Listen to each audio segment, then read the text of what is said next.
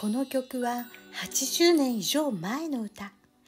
日本人の情感にクラシックやジャズが絶妙に溶け合い中国の風土を思い起こす作品。そしてそれが世界中で美しい調べとして伝わった曲。作曲家服部良一は自分の作品で最も好きな曲だったそうです。ナレーター下妻豊子さんからのリクエストにお答えしました。